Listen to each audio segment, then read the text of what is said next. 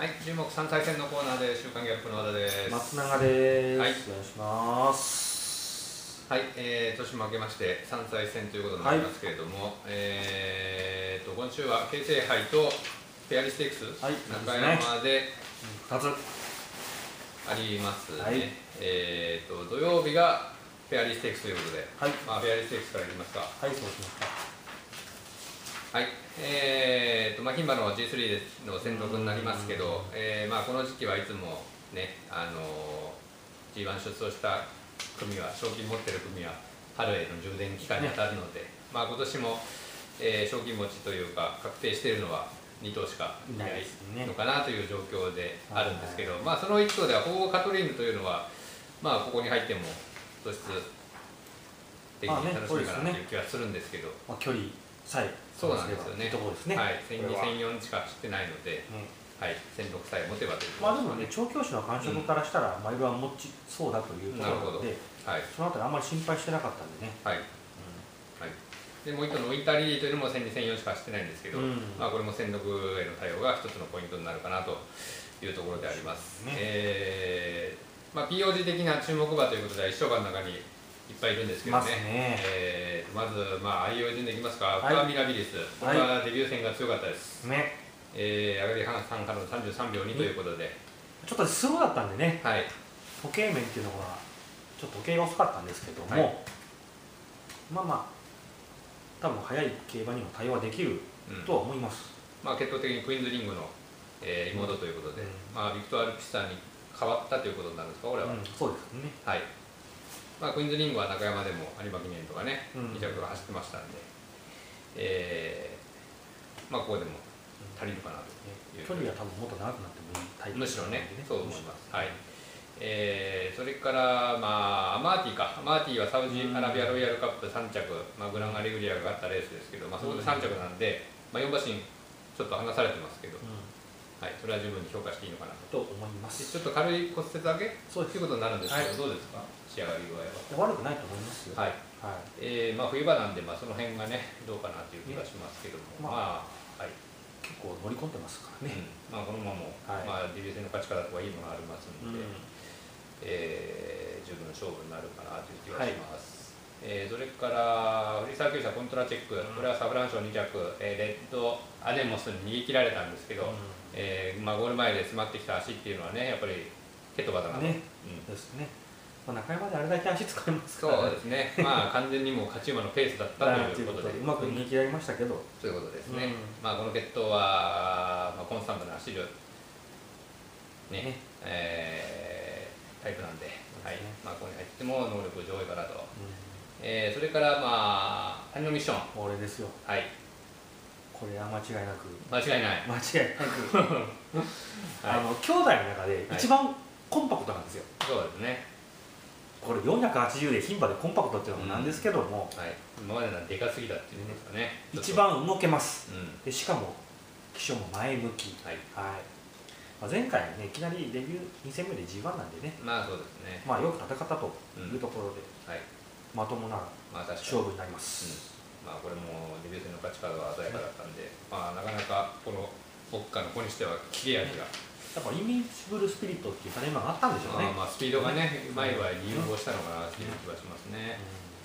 はい、えー、まだバババッといきます。フィリアプーラはデビュー2戦目が強かった。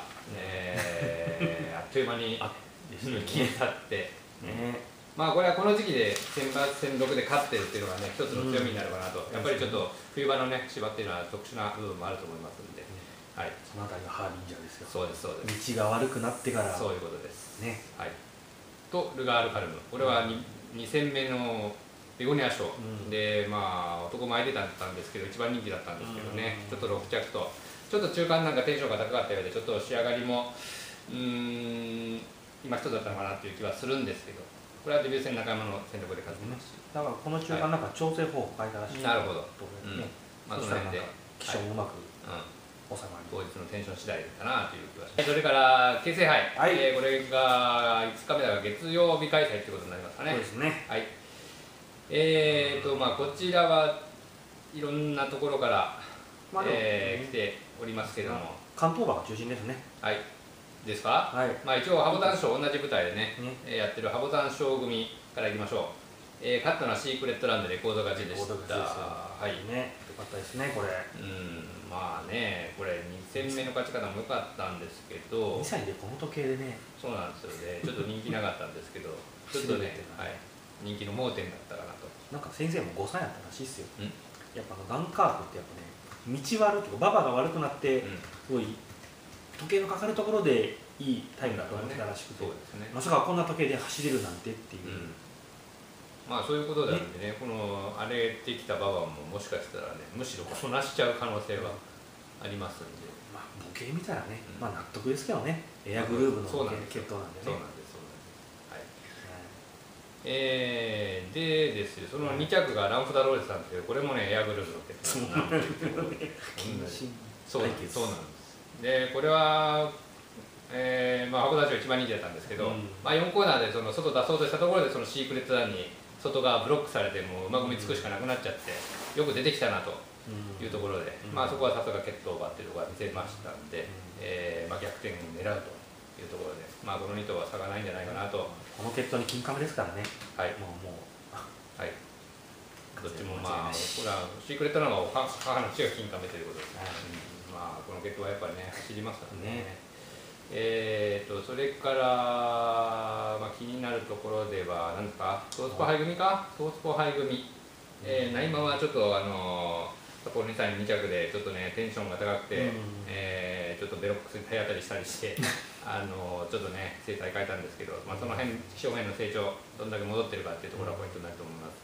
それからカテドラルどうですか？関西馬ですけどカテドラルねもうちょっとあのうまくうん。お折り合いがね。思ったほど走らなかったなっていう気はするんですけどね前回はね、えー。ちょっと前で運びたいともあったでしょうし、まあこれは立て直して、えーどうかなというところですかね。えー、あとは何ですか？あダノンラスターあの位置からようとそこまで来たあそうなっていうそうそうあダノンラスターねこれが5着だったんですけど、まあそうですね。これ意外とあの意外とって言ったら失礼ですけど、うん。まあ、ディープインパクト3区で鬼駐車なんで、まあ走るなという気はしますね、まあ上がりもそれなりに速かった33秒台使ってますし、まあ本来もうちょい流れ乗れるそうなイメージもありますんで、うん。まあ、その辺中山でどうかなというところは見てみたいですかね、あとは初戦の勝ちっぷり良かったのはラストドラフトだと思うんですまあけど、ね決闘馬ですから、うん中山もむしろあるんじゃないですか？まあ、ノベリストなんでね、ね。まあ、これは母地ディープでお母さんマルセリーナっていうところでちょっと切れる足使いましたけど、ね。まあ中山のようなそれこそねアルババの方がいいんじゃないかなっていう気もしますんで、はい、その辺も楽しみかなという気はしております。はい。まあ、証券加算して春のクラシックの戦に乗せたいでしょうという面々のはい。戦いになると思います。はいそのあたりに注目していただきたいとはいいうところで、はい、今週は日中賞お楽しみいただきたいと思います。